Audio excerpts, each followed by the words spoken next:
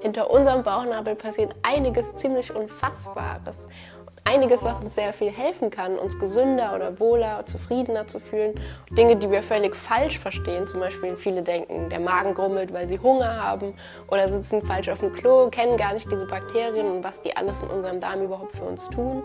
Und ähm, da ein bisschen mehr darüber zu wissen, kann eigentlich nur dazu führen, dass man den Darm nicht mehr peinlich findet, sondern ihn am Ende vielleicht genauso sehr liebt wie ich. Viele Leute schämen sich total über ihren Darm zu reden und das verstehe ich auch wirklich.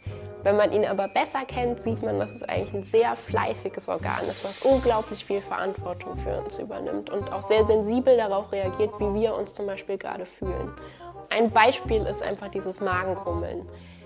Das findet man oft sehr unangenehm und denkt, es kommt von Hunger. In Wirklichkeit nutzt aber einfach nur unser Magen- und Dünndarm die Zeit zwischen den Mahlzeiten, um mal ordentlich alles zu putzen und sich selber zu reinigen. Alles, was in unserem Bauch passiert, ist so wahnsinnig unbewusst. Wenn wir ein Stück Torte essen, kriegen wir noch mit, wir schmecken sie, wir fühlen, wie sie sich anfühlt. Beim Schlucken, das erleben wir noch und hier, ziemlich genau ab dem Punkt, paff, ist sie einfach weg.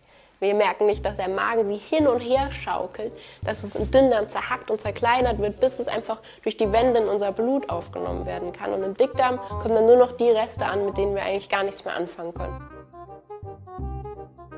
Über unseren Darm können wir den ganzen Körper besser kennenlernen. Das fängt an bei Fragen wie, wie kann ich aus einem Brötchen oder einem Stück Tofu die Energie holen, um meine ganzen Zellen zu versorgen?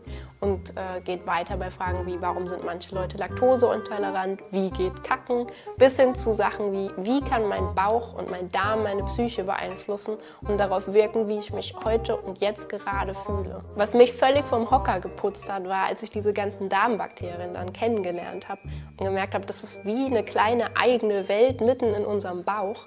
Die trainieren da unser Immunsystem, sitzen da, essen von unserem Essen und stellen ganz wichtige Stoffe für uns her. Wir sehen jetzt nicht mehr nur als Besen, die irgendwelche Krankheiten verursachen können, sondern zum Beispiel auch die Möglichkeiten, sich mit Fröhlichkeit anzustecken oder sich über irgendwas Hoffnung einzufangen.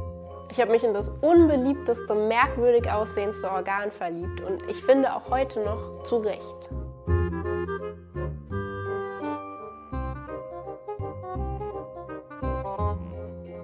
Oh.